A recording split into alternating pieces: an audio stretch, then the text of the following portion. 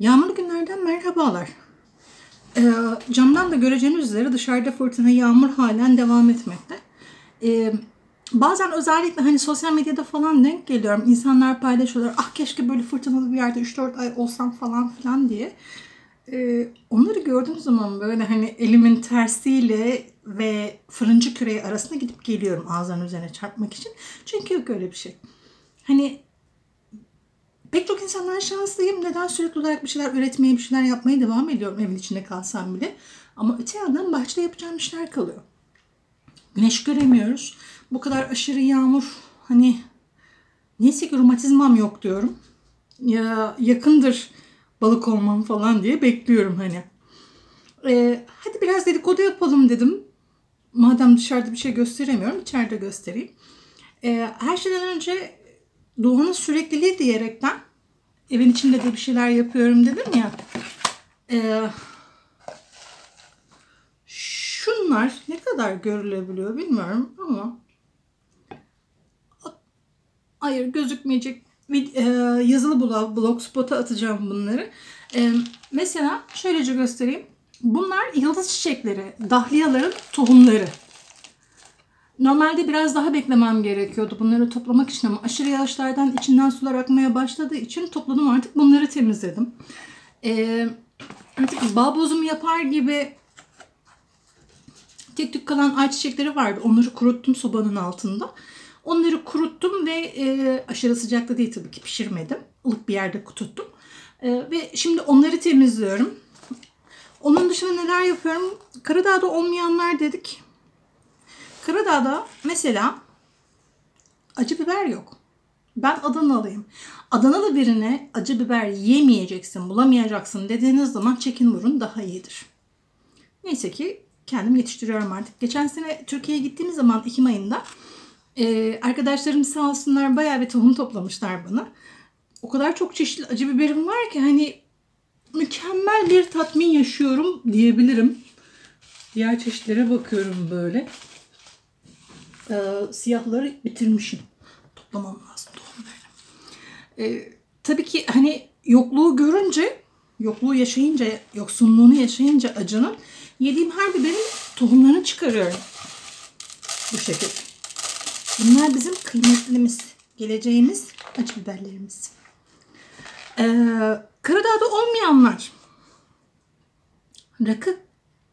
Çok ilginçtir. Hani Karadağ'da e, yanlış hatırlamıyorsam 7000 civarında Türk yaşamakta. Türk'ün ikamet ve e, çalışma izni var Karadağ'da. Buna rağmen bizim bildiğimiz rakı yani Türkiye'nin geleneksel olan rakısı yok. evet buranın rakısı da çok güzel. Geçen gün mandıraya süt almaya gitmiştim mesela. E, rakıya kaynatıyorlarmış. Dedim geç kalmadınız mı? Yok dediler bu ayva rakısı. Oh dedim ben. Hemen bir bardak tabii ki kondu. Ya işte araba falan ya dediler şehre gitmeyeceksen sıkıntı değil. Hani ev şurası.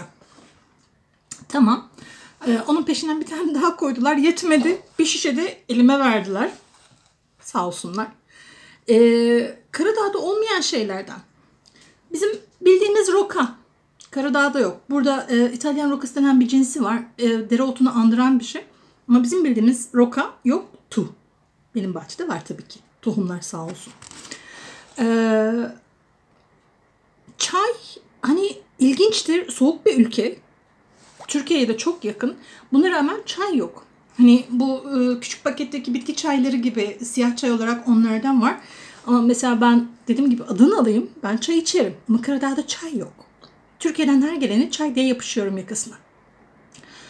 Ee, her ne kadar İtalyan nüfus çok fazla olsa da barın karşı tarafı İtalya hani e, sınırın e, sahilin karşı tarafı İtalya olsa da filtre kahve yok denecek kadar az ya da korkunç pahalı. Hani ben tutup da 250 gram kahve evet yani evet duyuyorum okuyorum Türkiye'de de bazı şeylerin fiyatları arttı ama 250 gram kahveye de 5-6 euro vermek istemiyorum kendi adıma. İstesem de veremem. Öyle bir bütçe yok çünkü. Ee, öte yandan domaça kafa diyorlar burada. Ee, domaça kafa. Yerli kahve diyorlar. Ee, bizim Türk kahvesini çok andırıyor. Tek fark biz soğuk suyla yapıyoruz. Soğuk suyla pişiriyoruz. Karadağ'da ise kaynar suyun içerisine kahveyi koyup ya da kahvenin içerisine kaynar suyu koyup şöyle bir taşım kaynatıyorlar. Tat bu yüzden birazcık farklı olabiliyor. Ee, çok çeşitleri var. İşte kremalısı, vanilyalısı, e, pek çok çeşidi var ve Türk kahvesi, yani normal kahve diyeyim, geleneksel kahve diyeyim. Kahve standları inanılmaz büyük. Hani bizim Türkiye'de o kadar fazla kahve standı, o kadar büyük kahve standı ben görmedim. Eğer son iki buçuk üç yılda olduysa da bilmiyorum. Ee, onun dışında zaten şalgam falan hak getirir rakının yanına yok öyle bir dünya. Ee, bazı bakliyatlar burada biraz daha pahalıya geliyor. Mesela kırmızı mercimek ben e, mercimek köftesini çok yaparım. Bulgur zaten yok. Burada bir tane evin yakınında olan bir değirmen vardı. Un yapıyorlardı normal koşullarda. İşte fotoğrafları falan gönderdim. Dedim bakın böyle böyle yaparsanız ben size müşteri de bulurum. Bulgur üretin. Hani daha pahalı ya. Normalde unun kilosunu 50-60 sente veriyorlar. Dedim ben size bir eurodan müşteri de bulurum. Bulgur üretin. Dediler ha biz bunu bilmiyoruz. Ben dedim numune de veririm size. Gelecekler. 3 aydır. Gelecekler numune almaya, konuşmaya. 3 aydır gelecekler. Ee, hep diyorum ya Karadağlıların çok kesin, keskin bir çerçevesi var. Bir konfor alanı var. Ve onun dışına çıkmak istemiyorlar. Ee, evet bilinmeyen bir ürün üretmek ya da bilinmeyen bir ürünü getirmek çok büyük risktir. Arz talep dengesini sağlamanız lazım. Ama ben diyorum ki sen arzı yarat. Ben sana talebi yaratacağım zaten.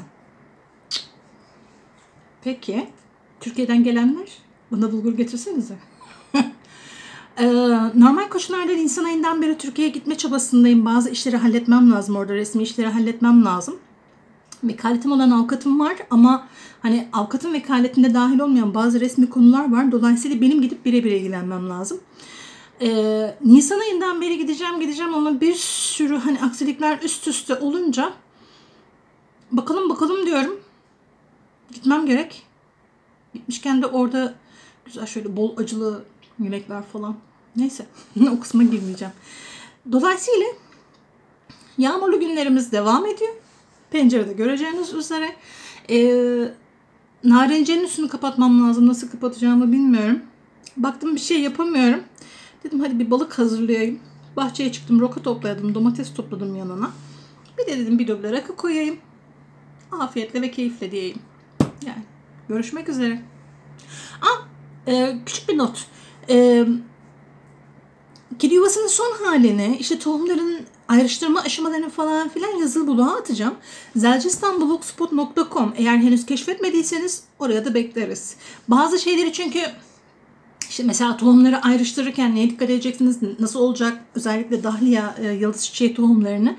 E, beni çekecek biri olmadığı için hani benek ve haylaz var ama onlar telefon kullanmayı bilmiyorlar. Beni çekecek biri olmadığı için fotoğraflarını çekiyorum ben de. Ondan dolayı zelcistanblogspot.com'da oraya atacağım ilk fırsatta. Görüşmek üzere.